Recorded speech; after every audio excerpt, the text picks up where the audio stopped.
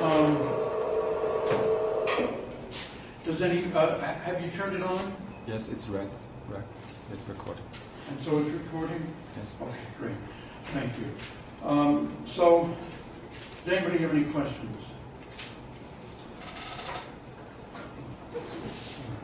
Okay, so let me start up from where we, uh, continue from where we were at the end of um, last time. Um,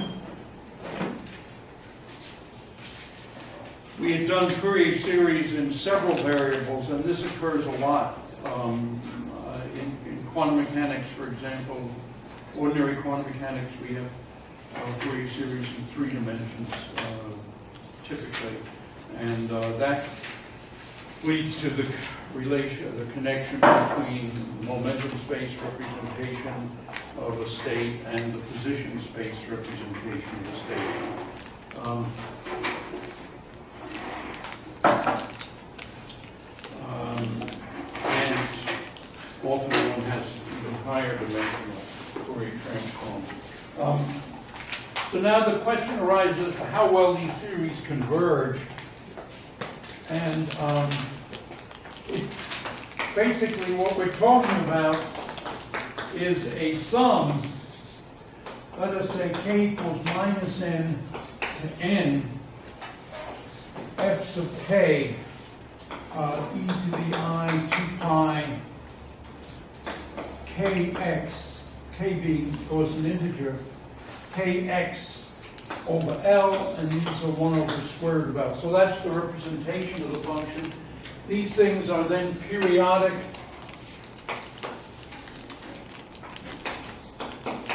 And the period is L.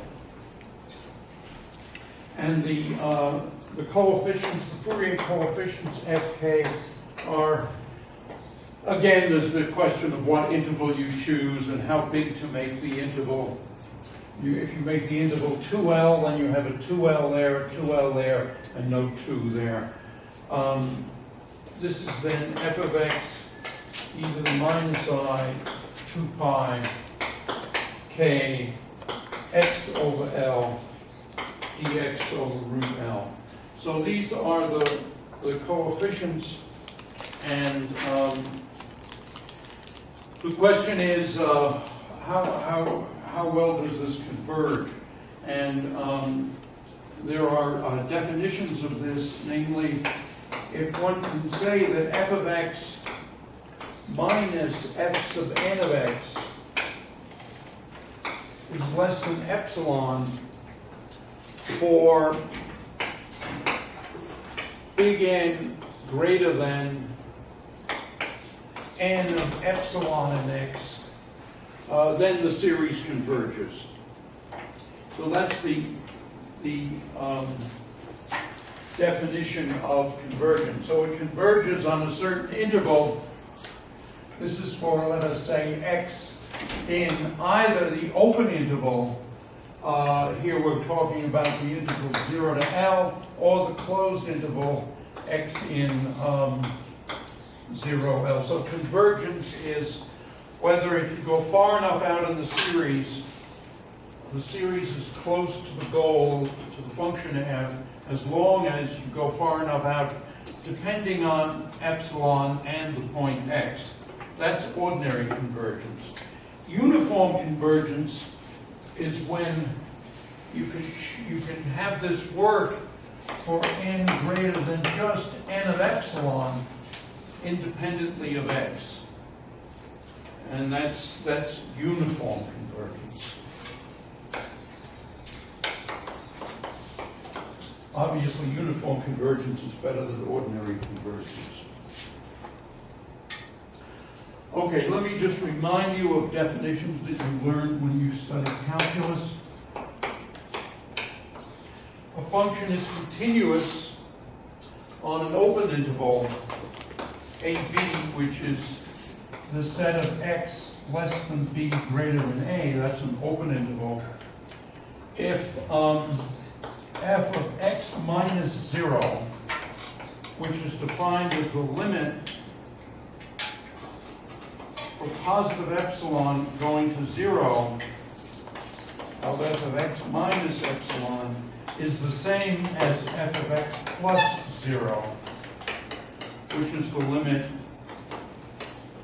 zero less than epsilon, epsilon going to zero of f of x plus epsilon. So these are, these are certain definitions that when I was in college, the definitions were equivalent, but not stated in this way. Um, The, the, the function is continuous on a closed interval if, um, so this is continuous on the open interval. It's continuous on the closed interval, which we write as AB, and these are x less than or equal to b, greater than or equal to a. This is if f of a plus zero is equal to f of a, and f of b minus zero is f of b. So in other words, you have this interval a, b, and the function does something or other. Um, if the limit of the function as you go this way is the value of the function at a, and the limit of the function as you go this way is the value of function of b, that's continuous even on the closed interval. One of the nice things about a function, that, about a function being continuous on a closed interval is if f is continuous on the closed interval AB, then f of x is less than or equal to something or other for all x in the closed interval. So continuity on a closed interval to boundedness on the closed interval.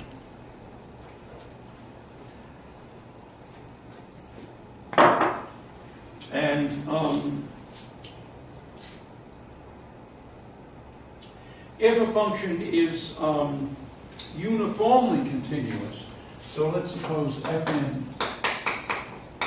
goes to f of x uniformly on the closed interval AB, then what we can say is that the difference between AB, so this is, um, these are all continuous. They're all continuous on the closed interval, so these are both continuous. Then um, f sub n of x dx, well, I've got to write more clearly. f sub n of x, sorry, there's a,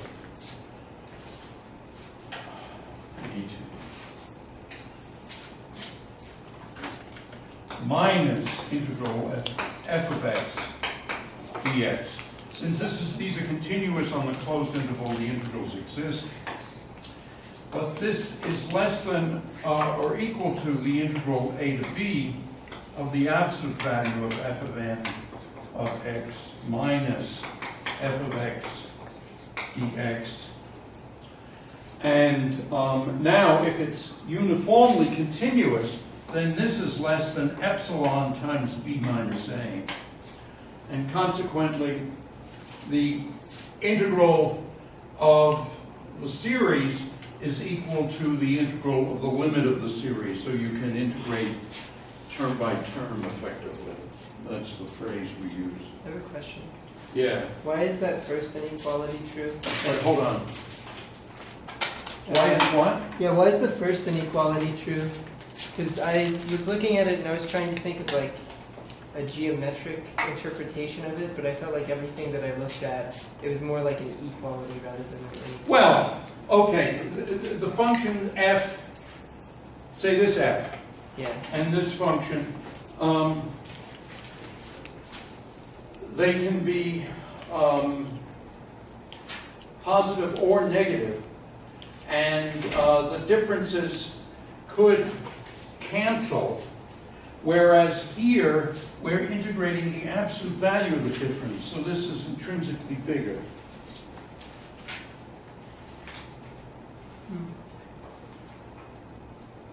Consider two functions that cross at some point. Oh, two functions that cross the It, Okay. in other words, the sum of, in fact, these are in general complex after all. And um, so the sum of these terms minus the sum of those terms, if you do the sum, you might have some of these differences positive, some of these differences negative, and you put the, you just take the absolute value of the sum, they can cancel. Whereas here, you're taking the absolute value of all the differences, and so they never cancel. Um, but you're right, there should be some, I, I should have something that's Yeah. cuter to show that, but I don't. Well, I, I think it's generally true for any two complex numbers. Yeah. Okay, I was thinking of This is less than or equal to C plus C prime. That's basically Yeah. the idea. Okay.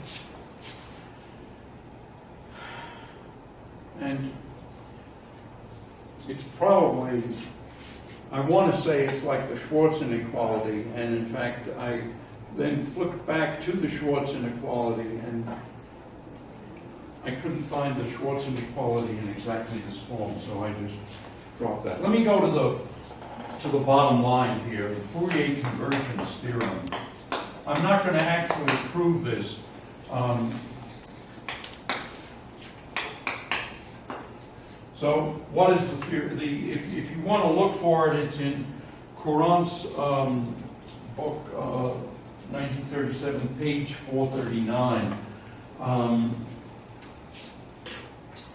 and the book is listed in the index of, of my book, the title and the authors. Any, I, I don't remember exactly who it was, apart from being Courant. Um, anyway, the Fourier series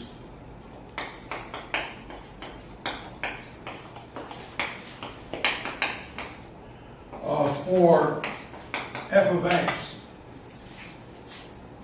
for f of x, if f of x is piecewise continuous.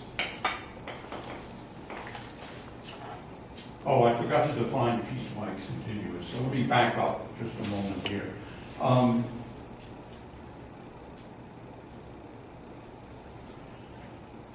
a function is, so f of x is piecewise continuous.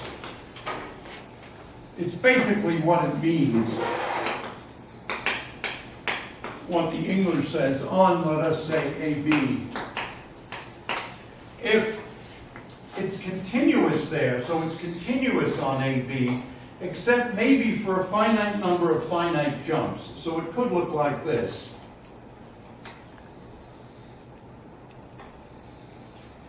Could be like that. So here, there's a, there are jumps where it's discontinuous, but there's only a finite number of them. So in these pieces, this piece, that piece, and that piece, it's continuous, and the jumps are finite. That's piecewise continuous. And what we can do is we can define a periodically extended function f sub p of x. And um, f sub p of x at any jump is f of x minus 0, or in fact one could say it's always f of x minus 0, f of x plus 0 over 2 for all x. So that makes it that just defines what we mean by period, by, um, that's part of piece of periodically extended. The rest of periodically extended means fp of x plus 2 pi n is equal to um, fp of x. So in other words, uh, in other words, we first define fp on the interval as being this, and then outside the interval, we periodically extend it. Okay? All right, so that's what the periodically extended is. And now the Fourier convergence theorem is, um, if f is piecewise continuous, um, on piecewise continuous with a um, piecewise continuous um, derivative, then then the Fourier series and let's see, how was I writing it? e to the i i 2 pi n x over L divided by square root of L. This converges to f of x on the interval, uh, not to f of x, to fp of x. So in other words, if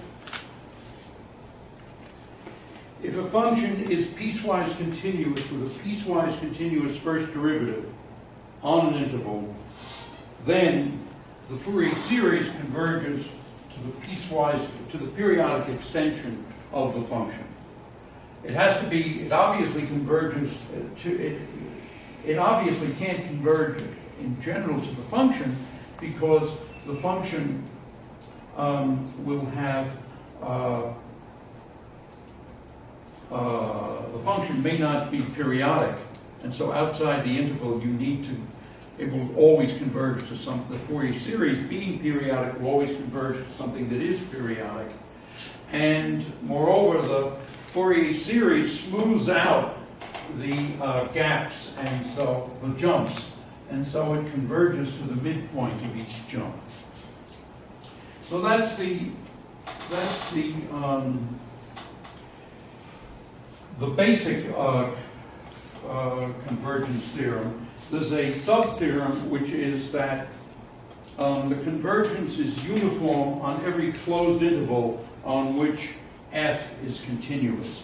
So in other words, on these intervals, the convergence of the Fourier series is uniform.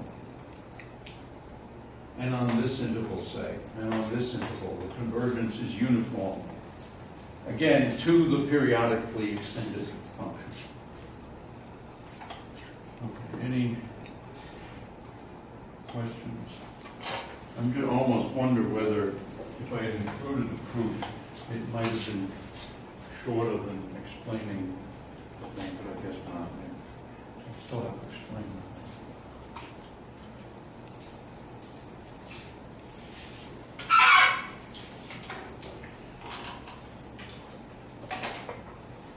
Okay. Now, here's another definition. Um, there's a class of functions called CK. And um, just for simplicity, I'm going to be, because I'm going to write down some, some integrals, I'm going to choose the interval to be minus pi to pi. But as you know, whatever works for one interval works for any other finite interval. Now, what is this class CK? F is in class CK if the kth derivative of x, which is dk f of x dx to the k, if this is continuous.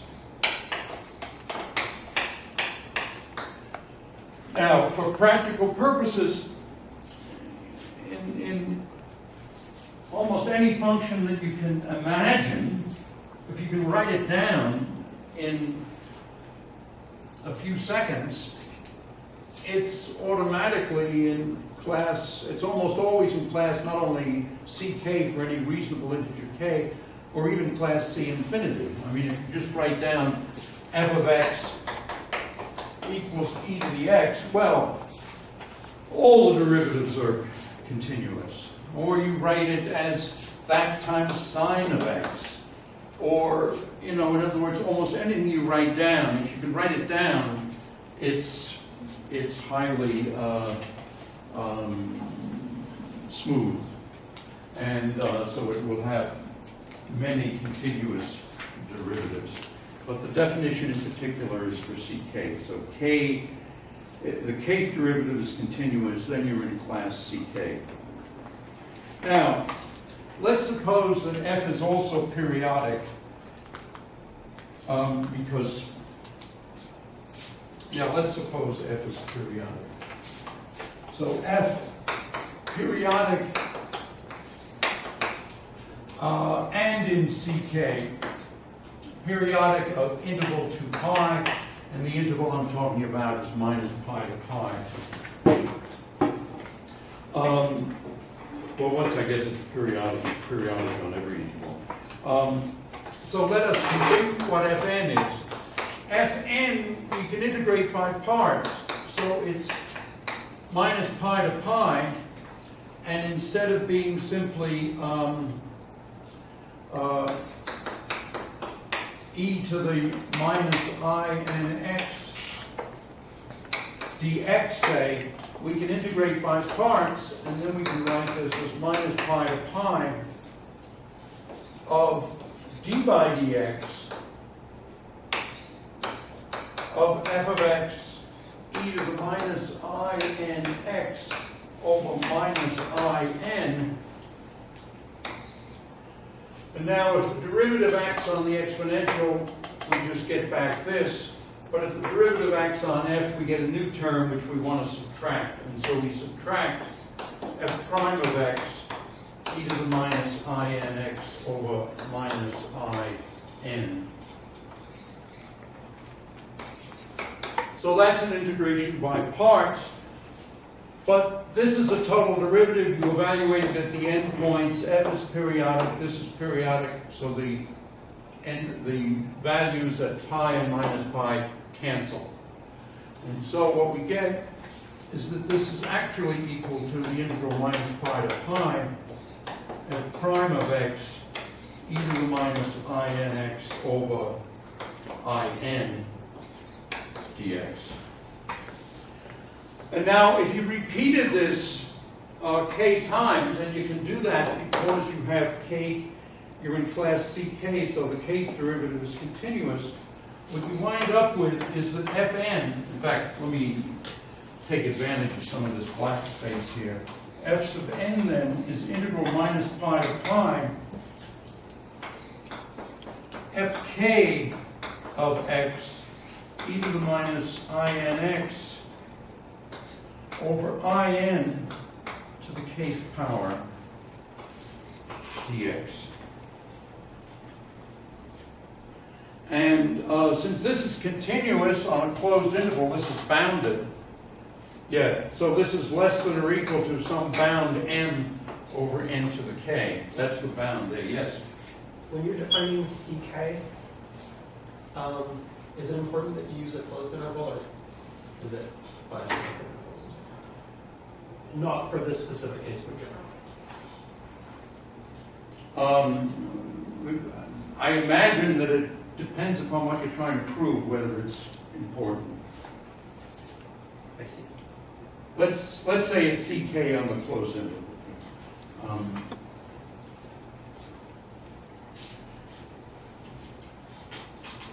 Oh, I need to give you a candy, hold on.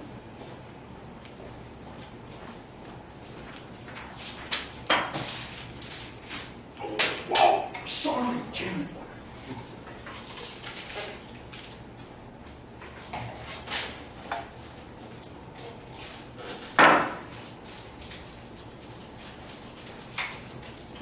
Okay. All right, so that's, that's one result. The reason, by the way, why I went through these things is that I did various examples of Fourier series, and what I found was that the coefficients converged more rapidly than 1 over n to the k. And so I said to myself, well, something's going on here. And indeed, what's going on is that uh, if f is in class ck, that means the kth derivative is continuous. But the k plus first derivative typically will be piecewise continuous. So if fk plus 1 is piecewise continuous, then you can integrate again, and you get f sub n is equal to integral minus pi to pi of f of k plus 1 of x e to the minus i n x over i n to the k plus 1 dx. So now uh, you have yet a higher value of um, n.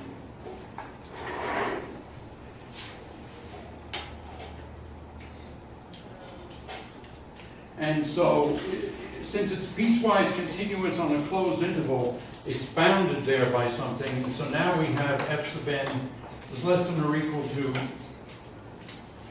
let me just say some m over uh, n to the k plus 1. This n and that n, of course, are the same.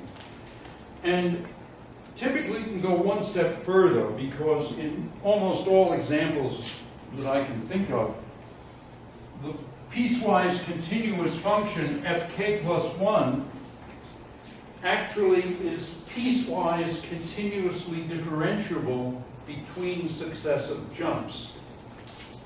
And in that case, what one gets, let me just skip a couple of steps here and say, what you then have is the sum j equals 1 to j, we have j jumps then it's the integral xj to x j plus 1. So the jumps are at xj, xj plus 1, and so forth. It would then be a smooth uh, function, k plus 2 of x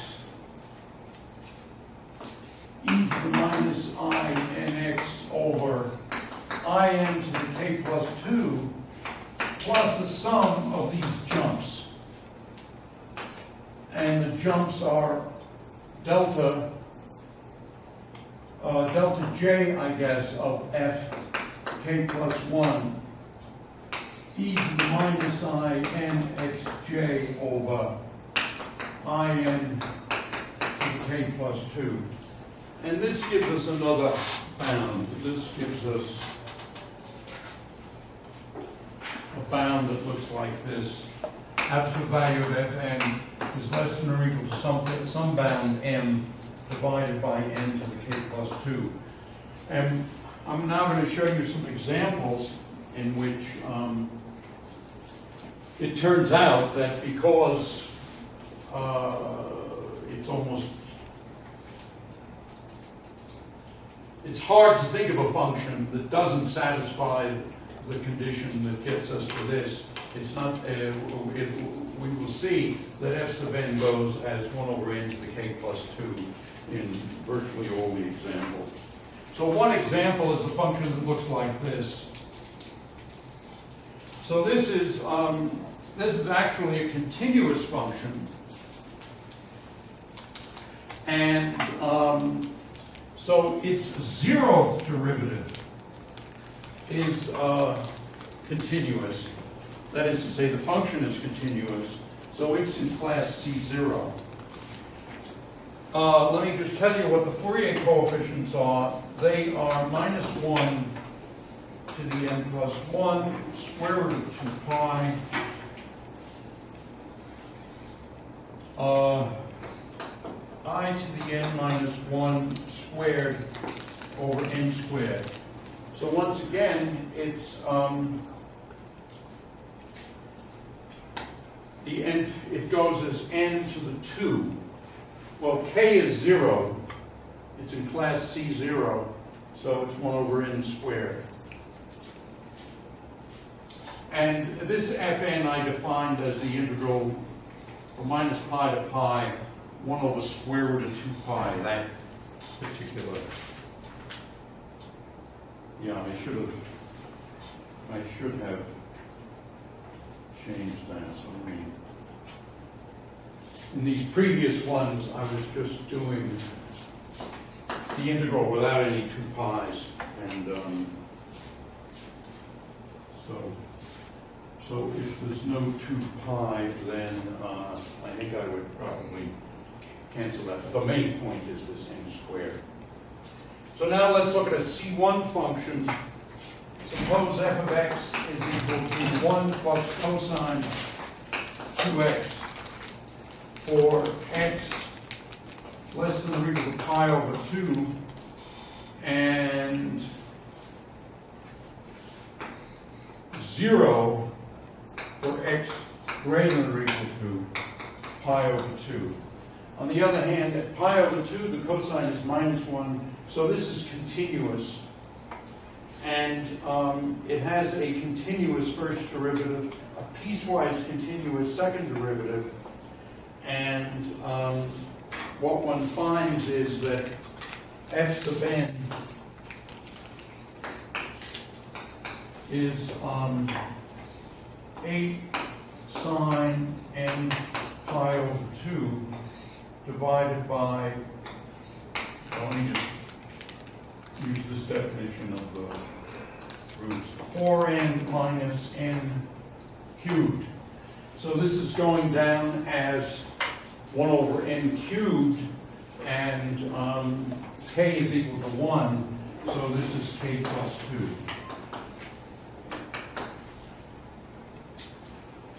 And um, the next example is cosine of mu x. This is an, an interesting example for a different case. If we set f of x equal to cosine of mu x, where uh, mu is just some uh, real number, let us say, probably works complex as well, it turns out that the uh, Fourier coefficients in, this is a real, let's leave, let's leave mu real, then this is a real function. And a sub n is minus pi to pi cosine nx cosine mu x dx over pi. In that case, the uh, answer is 2 over pi mu minus 1 to the n over mu squared minus n squared sine mu pi. And um, that gives us a series for cosine cosine mu x is then 2 mu sine mu x sine mu pi, sorry, over pi, and this is 1 over 2 mu squared minus cos x over mu squared minus 1 squared plus cosine 2x over mu squared minus 2 squared, and so forth. Um, and it's continuous, plus or minus pi incidentally. And um, what you can do is you can manipulate this. And if you manipulate it, and let me skip these manipulations, you can read about them, but I don't think I should do every example in detail. What you find is you find infinite product formulas for sine of pi x. And the sine of pi x is pi x, an infinite product. Product n equals 1 to infinity of 1 minus x squared over n squared. Which, um, whenever I see an infinite product formula, I'm amazed. Um, I, I think they're quite amazing. Um, and the corresponding cosine formula is cosine of pi x is product n equals 1 to infinity 1 minus x squared over n minus a half squared. So that's again a remarkable uh, formula. Now, one of the reasons that people like Fourier series is that they're they're a little bit like dogs. They're non-judgmental. Um, that is to say, you can take any old function and compute the Fourier series, and the Fourier series will do its best to represent the function. Um, and it, it won't say to you, well, I don't like this function because it's not, not uh, continuous, or it's not differentiable, or it's not this, or it's not that. The Fourier series does a pretty good job. In particular, the very, if f of x is square integrable, that is to say, if the integral of f of x squared dx on the interval, let us say ab, if this is finite, then we say the function is square integrable. The Fourier series can uh, represent such functions, and the convergence is convergence in the mean. So in other words, as the limit as n goes to infinity of ab of f of x minus the n-term Fourier series squared dx is zero.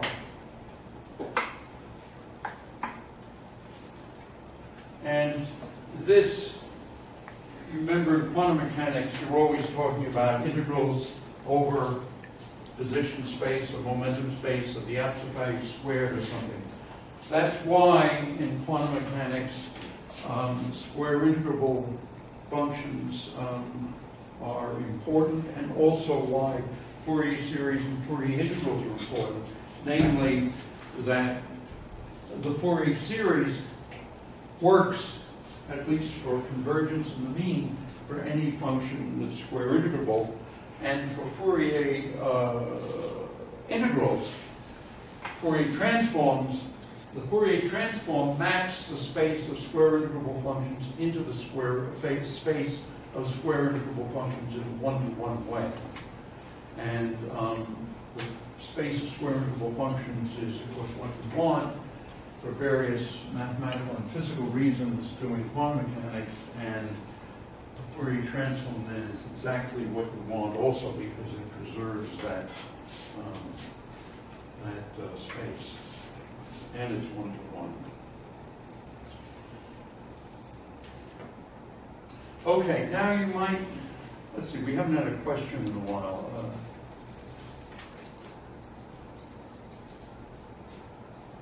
All right. Not even you. I'm going to ask you a question, it won't be a useful one. Um, So what happens if we integrate or differentiate?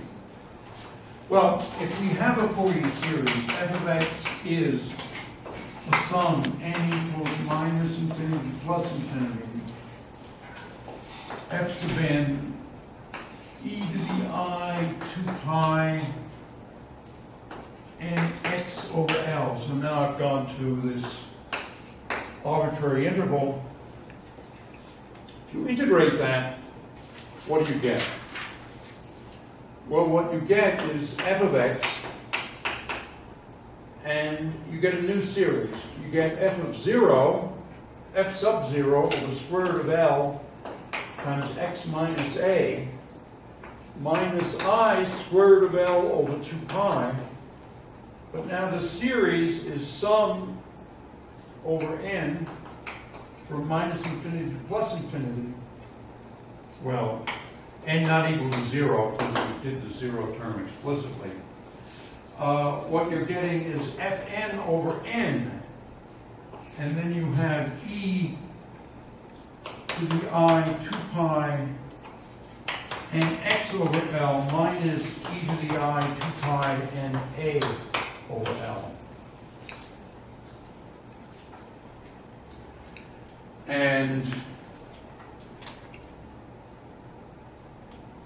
that's because I integrated from a to x. I don't know why I integrated from a to x. I should have integrated from zero.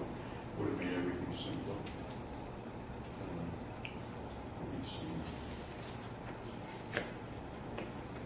Um, so what, what happens is, if you have a function with a Fourier series, the Fourier series for the integral of that function converges better.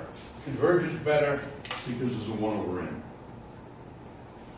On the other hand, what if you differentiate? If you differentiate, it gets worse, because differentiate this, you get f prime of x, and what does it do? It pulls down an i 2 pi n over l, so it's a sum on n of n f of n e to the i 2 pi x over l, all that times uh, 2 pi i over l to the 3 halves, and, um, right, okay. Anyway, so if you have a Fourier series for a function and you differentiate, it gets worse. So derivatives make things, you differentiate a function, it'll get rougher. You integrate a function, it gets smoother.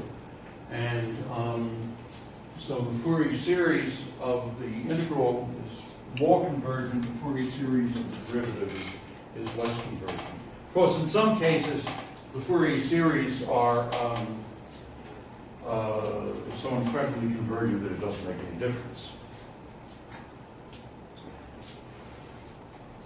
Okay, questions? All right, a quantum mechanical example. You guys have all, what, what is the story? Have you guys all had,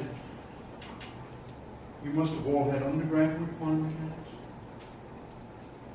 What about graduate quantum mechanics? You, you have, how many have had that? You've had, you've had that? A lot of us are in it right now, taking it right now, yeah. Some of you are taking it right now, okay. All right, well, let me just give you an example. Suppose we're talking about the uh, square well. So this is v of x, zero for x less than L, greater than zero, infinity otherwise. So for x less than zero, or x greater than L. So that's the potential, and so the function is, the, the particle is stuck between zero and L. And so we have a, if that's L and this is zero, um, the potential looks like this, and the particle has to be in here somewhere. The Hamiltonian in here is uh, minus h bar squared over 2m d2 dx squared plus b of x, well, this is just zero inside here. And um, so the, so inside here, the, if you want Schrodinger's equation, is minus h bar squared over 2m psi double prime equals e psi for x less than L greater than zero.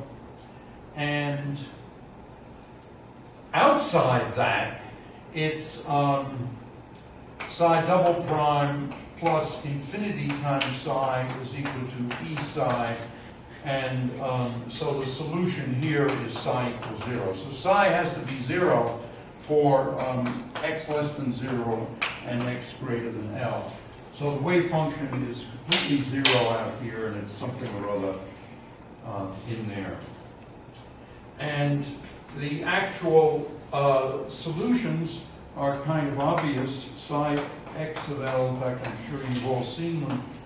2 over, square root of 2 over L sine of pi n x over L. And again, this is in the interval 0 to L. So these are the uh, uh, these are the eigenfunctions, and E sub n is uh, n pi h bar over L squared 1 over 2m. And um, if you think, so let me just try to separate that out. Just to remind you about natural units, if you had done this with h bar equal to 1, you would have said, well, um, this thing is an energy. We've got uh, an L squared and an M.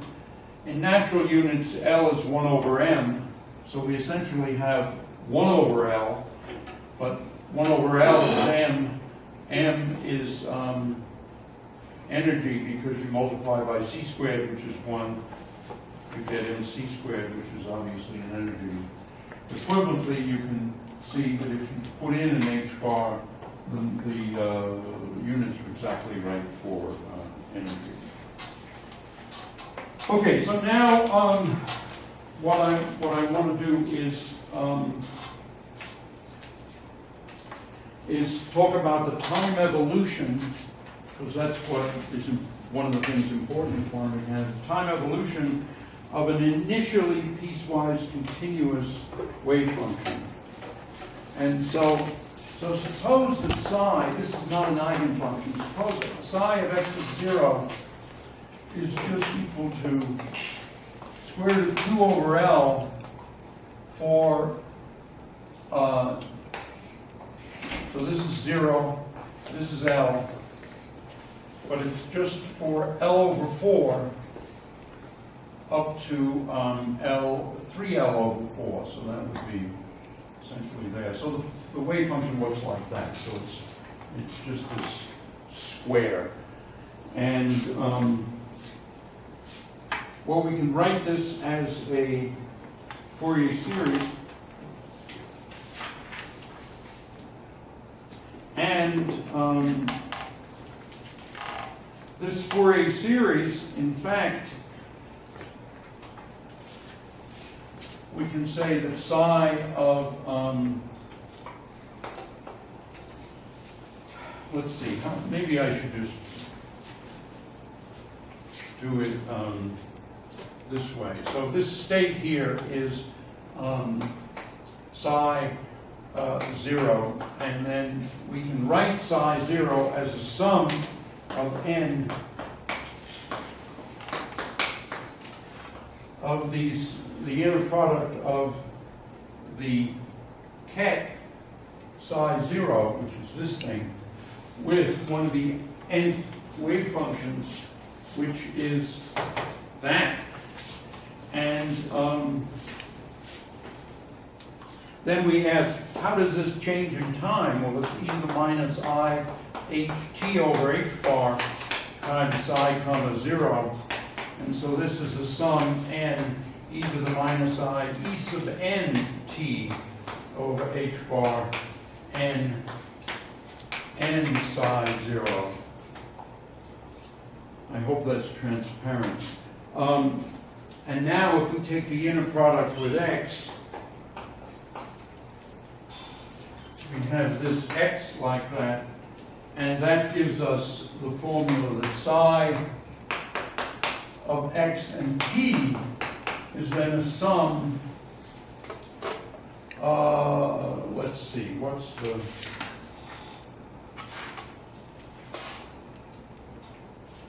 sum all right, f sub n. f sub n, I skipped what that was. It's 2 over pi n. These are just the Fourier coefficients. Cosine pi n over 4 minus cosine 3 pi n over 4 times, so that, what I just wrote down there was these things.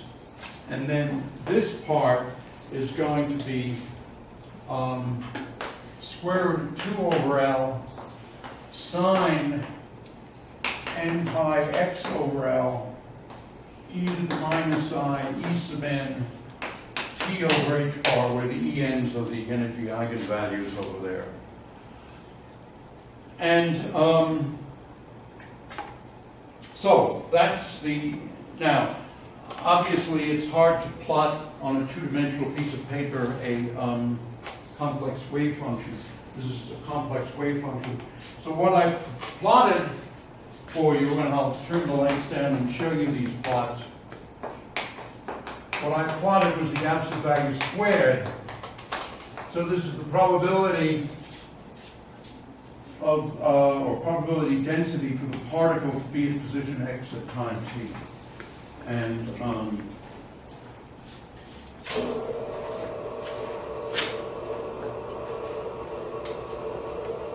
any questions?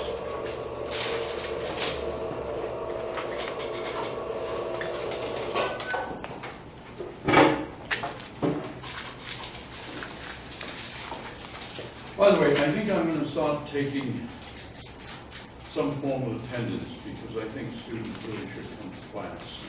Some people are not coming. And just looking at it, all of you, you are the people who have come almost every time. Um, And um, I don't know what fraction of your grade will be attendance, but some fraction will be attendance. So pass it on to the others, because it's, it's, um, the reason we have lectures, rather than just books, um, is, um, because communication in person is more natural and more effective.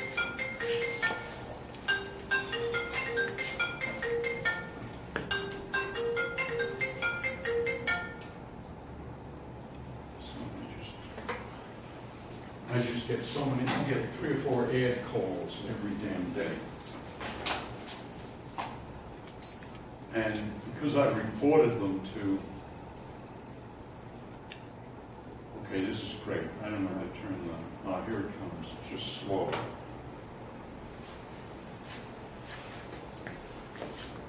Oh, God, now I have to, I have to somehow tell it, tell it how to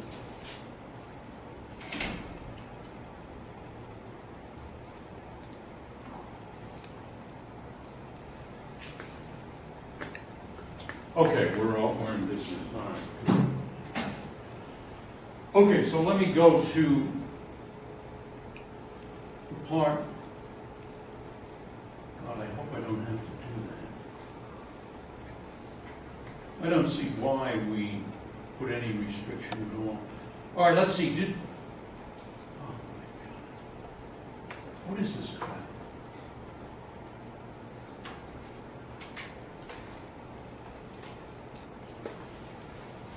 So I did the function x squared last, I, I did all these last time.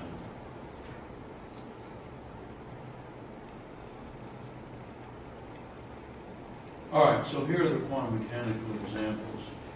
Now, um, this is the, this is the wave function and the Fourier series of the wave function simply at time zero. And so the solid square is the wave function. The Fourier series, of course, is, um, uh, I, I did the case L equals 2, and um, the Fourier series with 10 terms is the solid curve, 100 terms is the dashed curve, and you see the Gibbs overshoots at uh, x equals a half and 3 halves at the discontinuity. Um, I should have brought a pointer. Um, and, um, although, actually, now that I think about it, I've got a pointer. All right, so that's psi of zero. Now, how does it evolve in time? Well, there's the evolution in time. And if you plot the absolute value of this evolution, and remind you, let me remind you that this was a piecewise continuous uh, wave function on the interval 0 to L, 0 to 2 in this case. So the, the solid line is time 0, and then there's a natural time, which is uh, 2m L squared over h bar, and uh, if we go to 10 to the minus 3, time 10 to the minus 3 of this natural time, then what we've got is the medium curve, which is this one. And you see it's a pretty weird curve. But it gets even crazier if we go to the natural time tau. That's then this thin curve, which you see is just really, really crazy. I originally made this in color, but Cambridge University Press didn't uh, want to pay for color, so I had to convert everything to black and white. So, um, I don't know um, whether any of this has any interesting experimental um, implications. Uh, I'm just treating this as an example to show you, uh, or to remind you how, to teach you both quantum mechanics and Fourier series. Um, so now, uh, let's instead go to something that's uh, a little bit simpler, or more continuous, I should say. So the first wave function, the first function was a uh, piecewise continuous function because it uh, was one that had was a square, and so it was zero, and then it jumped to something, and then it went was constant, and then it jumped back down. The next one is, um, I guess it'd be more efficient to just show it to you here. The next one here is a uh, is this function here, And uh, this is a this is in the class C0, namely it's a continuous function, but its first derivative might not be. Um, oh yeah, and it's zero otherwise. So you see, it it basically does that and then stops. And at this point, it's not going up gradually. Instead, the derivative changes uh, discontinuously. And if we take this as the trial wave function, then um, we can ask, well, how does this evolve? We can do the same analysis, and the difference, we'll have the same wave functions, the difference will be the Fourier coefficient will be different, and they'll be uh, more convergent because um, the uh, function is uh, class C0. If we then evolve it in time, again using the same natural time, then uh, what we've got is, um, and again, this is the probability distribution, psi of x t squared. The, the thousand term Fourier series at times 0, 10 to minus 2 tau, 10 to the minus 1 tau, and tau, 10 tau and 100 tau, they, I plotted them as excessively thinner curves. So the very first curve you see kind of reflects the fact that this is a sine in the middle and then zero outside. And then you see this thing goes on and it it um, it starts out quite high and then this maximum goes down to here and then it starts going up and then it goes back down again. And um, what you see is that it's much smoother. And it's smoother because the initial wave function was smoother, was continuous.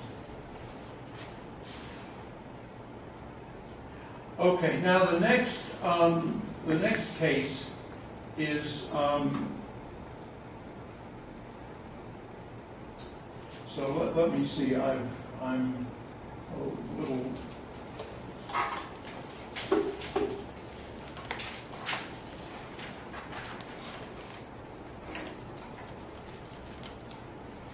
All right, the next one is a smooth wave function. And so that is over here.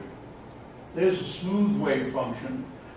And um, if we, we compute the Fourier coefficients, they're in equation 294. And we ask, uh, what is the Fourier series for the smooth function? Well, this is only 10 terms. And you see the convergence is is already so good at 10 terms that I couldn't show you 100 terms because you couldn't see the difference. The difference is only, there's a slight departure there. And if we evolve this in time in the same way, then uh, what we see is, once again, uh, and notice we're going out, originally when we did the one that was a, a discontinuous psi zero, we only went out to tau. Here we're going out to 100 tau, and the thing is, is behaving in a perfectly smooth, rhythmic way. Um, Okay, I think that's enough of that. So I will switch now to, maybe I'll leave that on because um, I want to switch to um, the Dirac notation. And I already have mentioned that um, we can think of these xn as uh, uh, e to the i n x over um, square root of 2 pi. These are orthonormal wave functions. And uh, we can say that the identity is a sum of these states like that. We can then say that um, the inner product of x with some arbitrary state f is then uh, x identity f, and so this would be a sum x and n f, and this would be then a sum e to the i n x over square root of 2 pi uh, e to the i n. What am I doing? No, I'm doing that twice. This is uh, NF, which is what we previously called F sub n. Uh, So that's the, that's how Fourier series looks so nice in Dirac notation. And uh, what is NF? Again, Dirac notation tells us almost immediately. It's an integral 0 to pi nx x f dx. Uh, that's what our formulas gave us, and this is integral 0 to pi e to the minus i nx. That's this thing with the square root of 2 pi. And this is f of x dx. So the Dirac notation is um, really just uh, remarkably helpful. Um, it's all right, so let me now get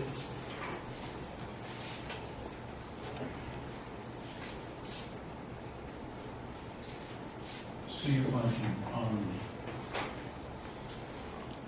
make some more black space here and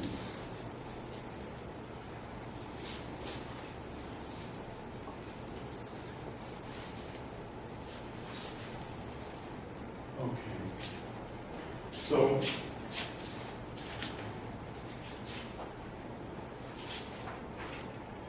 All right, so the, the basic idea now is, is the, the Dirac's delta function. This is another one of the things that Dirac invented, and uh, people resisted like crazy uh, for a while.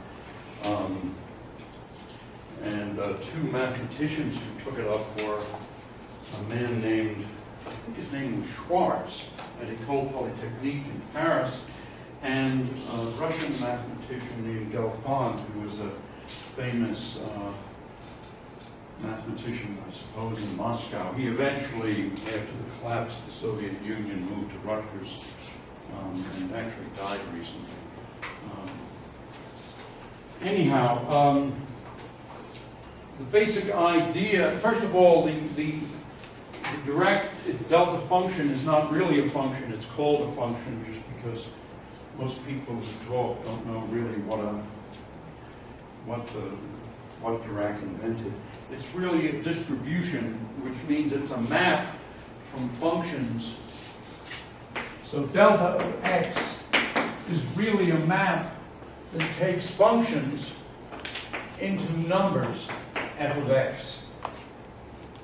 And uh, so in particular, then delta y would take the function f into f of y. So it maps functions into numbers and the way it does that is we typically write it this way, f of y is integral f of x uh, delta of x minus y dx, and I should have said, uh, x minus y, this maps it into f of zero, and that maps it into f of y. Um, One way of thinking about this is to write the identity operator as simply an integral of outer products of position states, or of x states if you want. And then what we see is that NF, the n Fourier coefficient, is uh, integral 0 to 2 pi nx xf dx, and this is equal to integral 0 to 2 pi the minus inx over root 2 pi times uh, xf, which of course is what we call f of x. Um,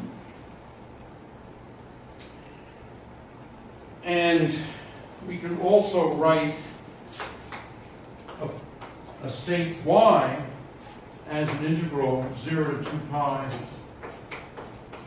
xx y dx. And also, um, if we take the inner product of this of, um, I should say, of what? Let us see.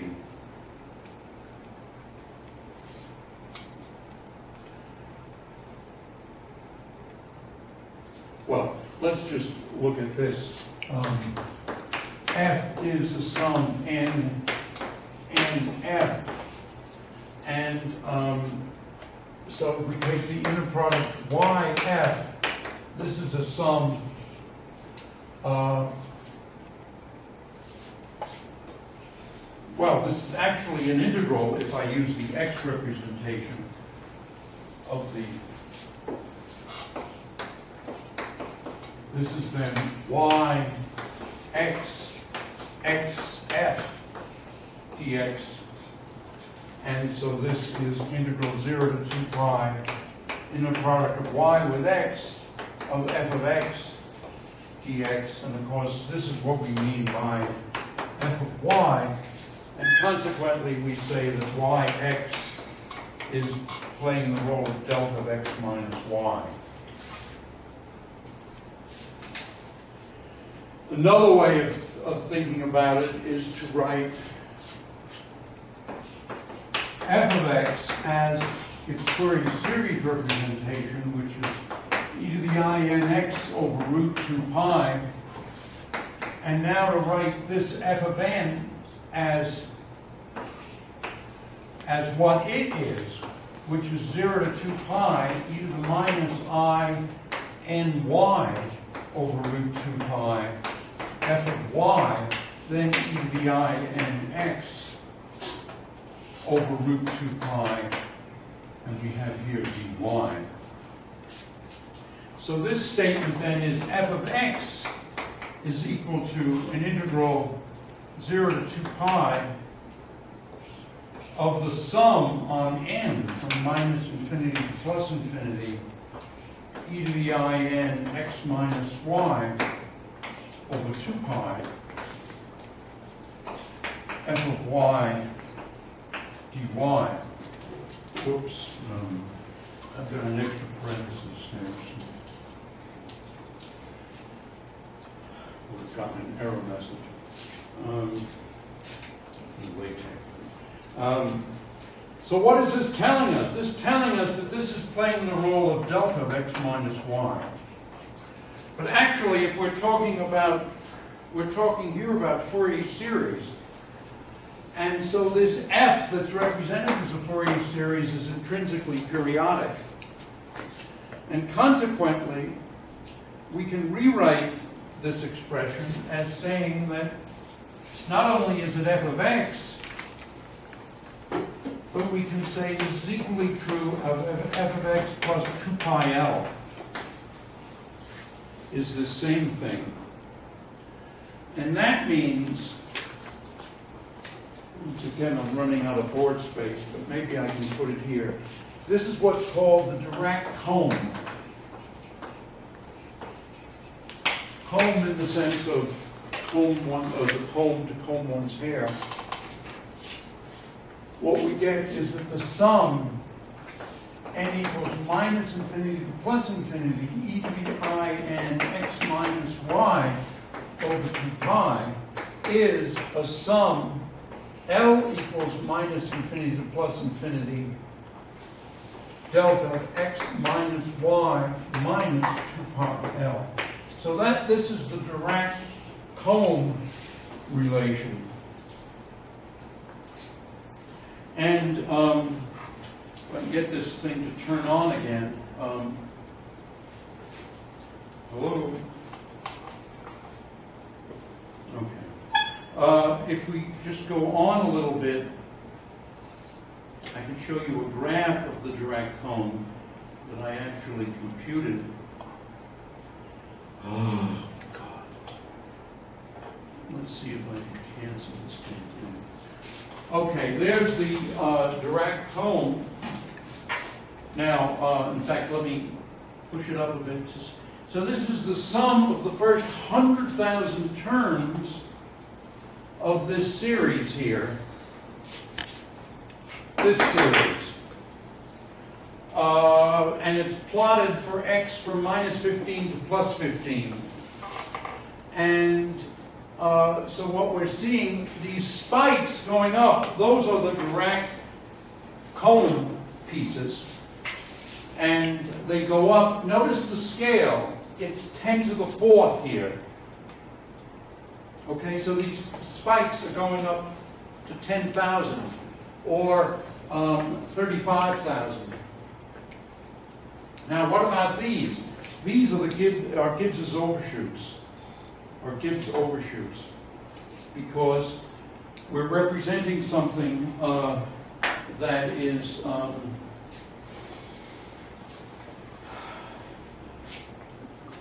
is you might even say anti-periodic, in other words, it's anyway, it's a Gibbs overshoot, and it goes up and down, and um, and uh, so that's I don't know. I think this is really interesting. This graph. It's quite amazing that it, it, it I think works so nicely. Um, let's see if there's something uh, else that's worth um, showing as a. Um, I don't think there is actually. I don't think there's another graph. Okay, so let me turn the lights back on. Um, let me mention one more thing about uh, Dirac's uh, delta distribution, if I use the term correctly, instead of calling it a delta function. Um, you know how useful integration by parts is. Uh, so the distributions are defined to work perfectly if you want to integrate by parts. So in other words, you can you can differentiate a distribution. Now, of course, the distribution is incredibly singular, but the derivatives of the distribution are defined so as to work automatically to make the uh, integration by parts work perfectly. So maybe I maybe I'll start next time just reminding you of that. And uh, okay, so uh, any questions before we end here? Um, maybe since we started a minute late, let me just write down this equation that um, uh,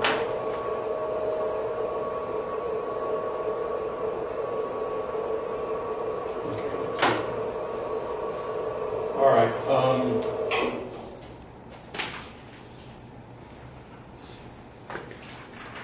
all right. For example, integral the nth derivative of the delta function x minus y f of x dx is integral delta of x minus y minus 1 to the n from integration by parts f sub n of x dx. And of course, we throw away the boundary terms because the, the, the, the delta function is zero except when x equals y, so the boundary terms vanish. And this is just minus 1 to the n, the nth derivative of f at the point y. Okay, so, um, next time I'll, I'll start then, instead of with this, with a, uh, a, um, comment about solving equations, uh, in which, um, you have to be careful that one of the variables might be zero. And if you take care that one of the variables might be zero, the way to do that is to use Dirac's delta function, or one way of doing it. So that's example 216. All right, I think we can turn it off now.